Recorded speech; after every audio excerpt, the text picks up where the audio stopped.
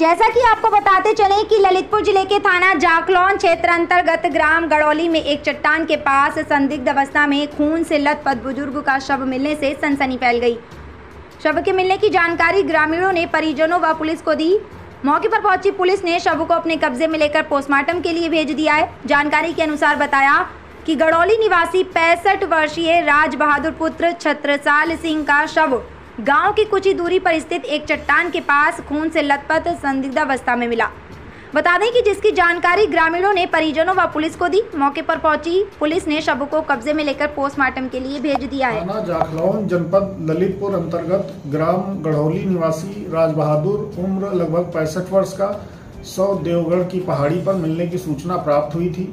इस सूचना पर जाखलौन पुलिस द्वारा त्वरित कार्रवाई करते हुए मौके पर पहुंचकर सौ को कब्जे में लिया गया।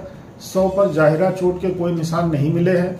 मृतक के कपड़े व चश्मा भी ठीक अवस्था में मिले हैं। ऐसा प्रतीत होता है कि मृतक स्वाभाविक रूप से लेट गया हो।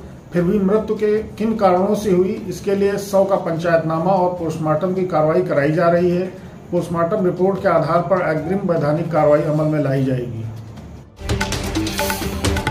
इस वीडियो को लाइक करें, हमारे चैनल को सब्सक्राइब करें और बेल आइकन ज़रूर प्रेस करें।